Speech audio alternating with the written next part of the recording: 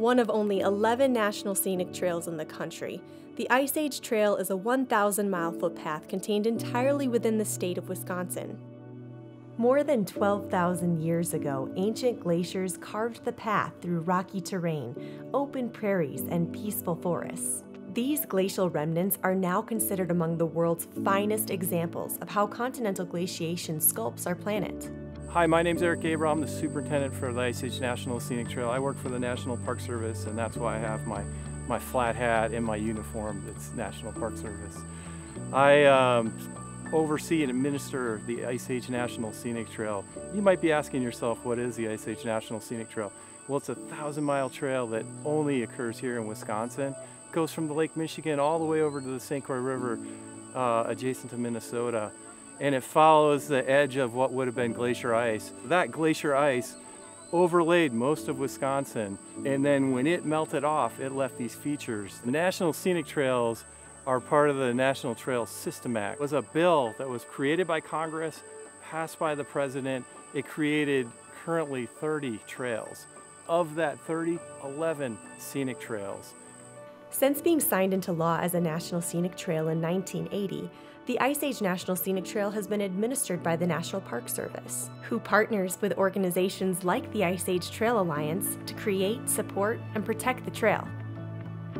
The Yellow Blaze Trail is suitable for adventures on foot, including walking, hiking, backpacking, trail running, and snowshoeing, over a wide range of distances and landscapes.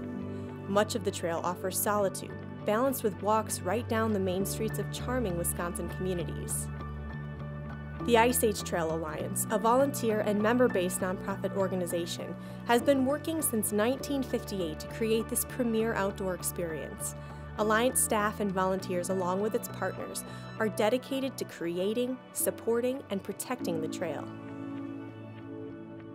The Ice Age Trail would be little more than a line on a map if it wasn't for the dedication of volunteers.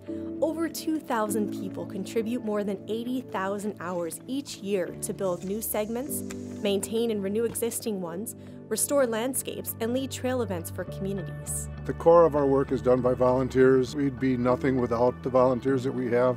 You just feel really good about it, that you know you gave back and you put a lot of hard work to maintain the trail, and it feels good. Our award winning Mobile Skills Crew program is widely recognized for its skilled volunteers, trained in advanced trail construction and crew leadership.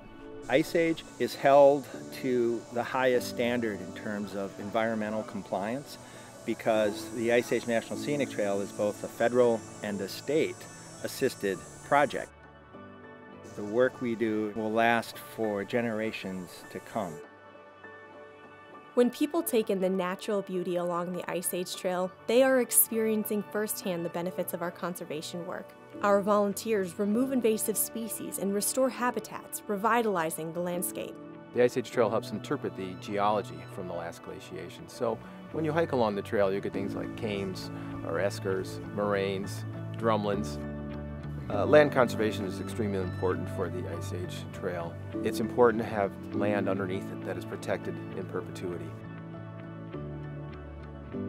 Both children and adults who spend time in nature are happier, less stressed, and better able to focus.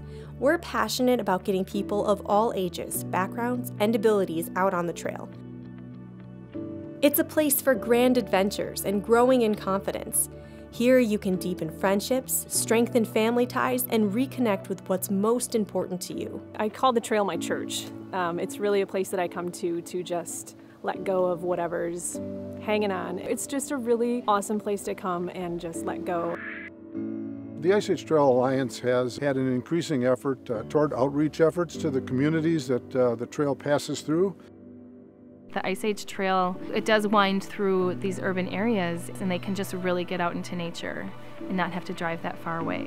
Over the decades, the Ice Age Trail has grown into one of the country's premier long distance footpaths because citizens across Wisconsin and beyond have done their part to support it.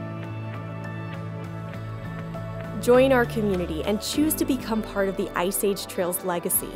Give a donation, lead a hike, help build sustainable trail, there's something for everyone to do, on or off the trail.